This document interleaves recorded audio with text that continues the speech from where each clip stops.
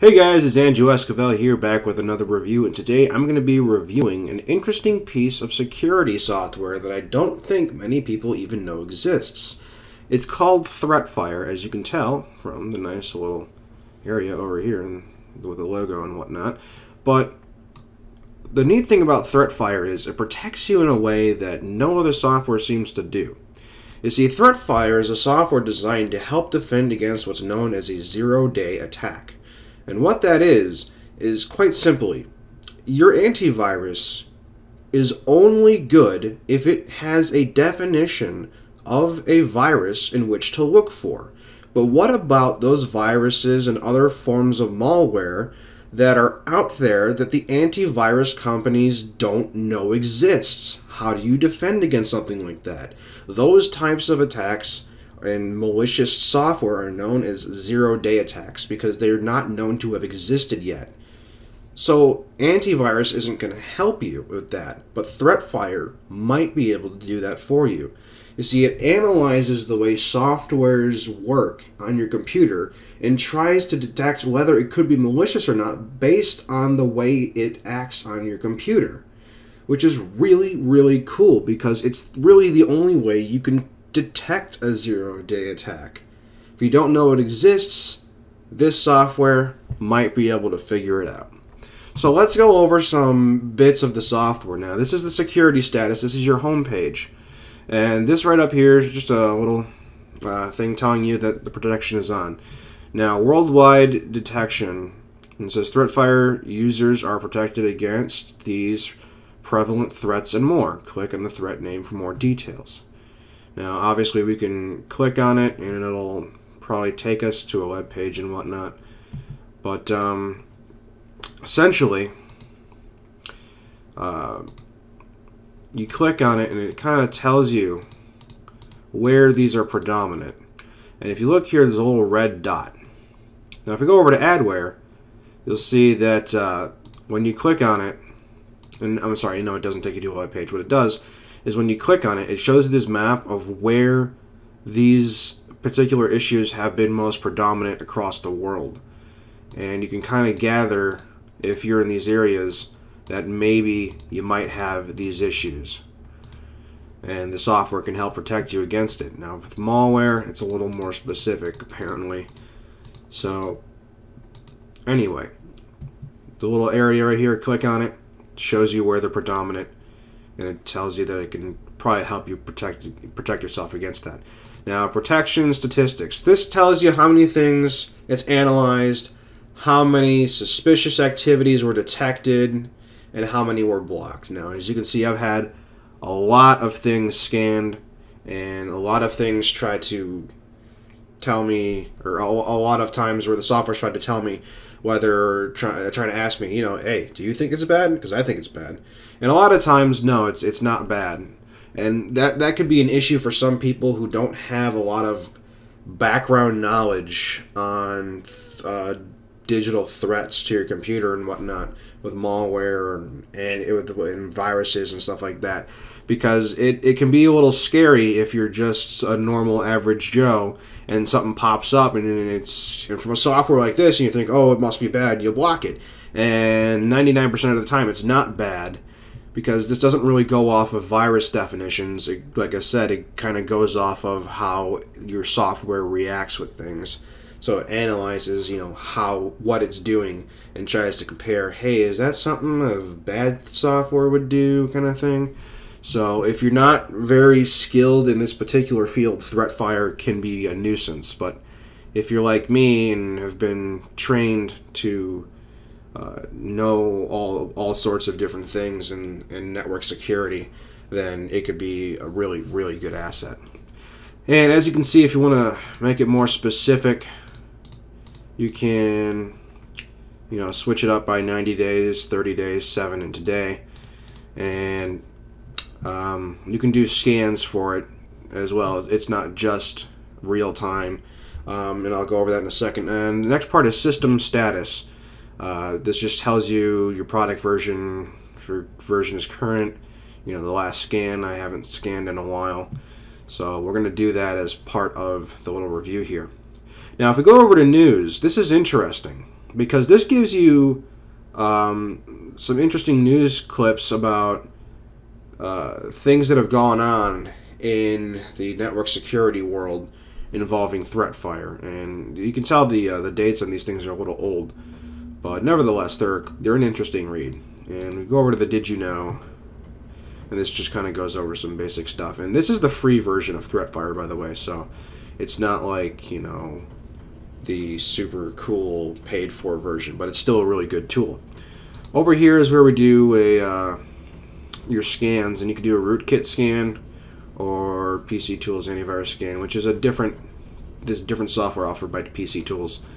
Um, and IntelliScan is just a quick scan of uh, uh, critical files and stuff, and a full scan obviously is of the full stuff. Um, I like to do full scan because you know I'm just thorough like that, and it scans just like any other software, and uh, obviously it's going to take some time, and you know, just run it every once in a while, and if it scans something weird, it'll let you know, and you can determine later by reviewing it, you know, is it something that you want to block, or is it something that you want to keep running? So there's two phases, and anyone who knows anything about, uh, you know, network security knows that rootkits are a pain in the butt, especially if you got a polymorphic rootkit. Good luck with that. Um, anyway, uh, threat control. This is this allows you to kind of see what you've done in the past with different things. Now, this section right here is for allowed. These are all the things that it's detecting. Like, hey, this is kind of weird. What do you want to do with it, man? And I'm like, you know what? Just keep this running because I, I know what it is. Like, for instance, this one down here, Flash Player Installer. I update Flash. Avast software. Yep, that's my antivirus. You know, things like that. And then there's denied. I haven't found anything that needed to be denied yet, which is good for me because if I had to deny anything, I'd be a little concerned about what's on my computer. But uh, quarantine, I haven't needed to quarantine anything yet, but you know, once again, your situ- your situation is going to be different than mine. And then protection log, this is just kind of a log of everything you've done. Going into advanced tools, now you can create custom rules and whatnot, but I generally don't mess with this because I don't need to.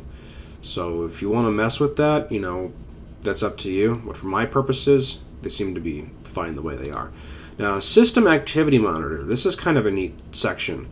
Uh, you can see all the stuff on your computer that's running, and you can see some pretty detailed information about every single process and uh, process tree of said process. In this case, it'd be Fraps, which is what I'm using to record, and uh, you know all this other good stuff, Skype, and all my other cool little softwares that I got running all the time. And we can go as far as to go with other, because it categorizes auto run, system, services, protected, yada yada. Pretty cool. Um, going over into the settings. Now, this is where uh, some of the magic happens, things that you need to configure.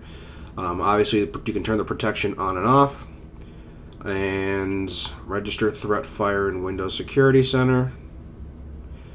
And uh, let's see, we recommend leaving the following unchecked for better compatibility with other third-party security software. See, um, so I'm I'm using a Comodo firewall. So Windows Security Center, it's not it's not standard Windows firewall, and I'm assuming that leaving this unchecked based on what it says down here is probably a good thing because Comodo is a third-party firewall. Um, sensitivity level. This is where I believe your heuristic settings are, you know, kind of like scan something, eh, this looks okay, or you can be like, eh, it looks okay, but I'm really suspicious, you know, the kind of thing where you set, you know, the sensitivity of everything. And I just keep it on 3 because you put it too high, then it bugs the crap out of you and becomes a nuisance, and you're less likely to pay attention to it. Set it too low, and it's not going to detect jack. So 3 is a pretty good setting. However, if you're in a high security environment, obviously the settings would need to be higher. Uh, default actions, and this is what happens when it scans something. If you use Comodo Firewall, you're going to be familiar with the way this works because when it finds something in real time, it will pop up and ask you, what do you want to do? Do you want to allow this process, quarantine it, stop this process, and you want to remember the answer? and that's that's what it that's what it does and you can select it for every time and right here I've got the default to prompt me or I can just have a default as allow or quarantine and this is for potentially unwanted program or pups and obviously again prompt me allow or quarantine now I just do prompt me because a lot of times it's something that you need to run even though it says it some could be something weird but once again, that's why I've got it set to 3, because otherwise the thing would be going off like crazy. So, um, moving on, checking for updates. I can have it, you know, do updates and all that automatically, which I probably should set it to that so that it does it automatically because sometimes I forget. I don't often run this program. I let it do its real time thing most of the times, but every once in a while I do I do do a full scan. Um, just some more community protection stuff. Uh, program language. Obviously, there's other languages. It's not just English. Notices. Uh, this uh, the show security status reported for 14 days. It'll uh, give you some information basically about what it's scanned and what it's found and what you've done. Just a little uh, thing to remind you of, of what you've uh, what the computer or what this software on your computer has kind of found over over the course of its time being installed. Uh, show Threatfire bulletin when with breaking news. Okay, so basically this is like going to show you when something critical happens. Like if we all remember a number of years ago when Conficker first came out, uh, it was a pretty pretty well known, got on the media and it caused a lot of issues. And that's the kind of thing it'll report on right here because that's breaking news in the networking security industry because you know, you got to be able to protect yourself against that, you know. Oh, by the way, remember April 1st is the most popular date to release a major virus because when you release it on April 1st and people know about it and talk about it, they can't tell if you're being serious or just trying to joke with them. So that's why April 1st, April Fool's Day, is chosen to be the number one date in which terrible, terrible malicious softwares are put on the internet for people to have accidentally downloaded. So always be careful about that. Uh, in the quarantine, um, we've got system restore points set to, you know, go for in case we need to roll back. And for scan, we can we can schedule automatic scans, but because of the way my computer is, I'd rather do it manually. But if you're one of those people who wants to have it done for them, this is the way to do it. And obviously, upgrade now. This will bring you probably to their website.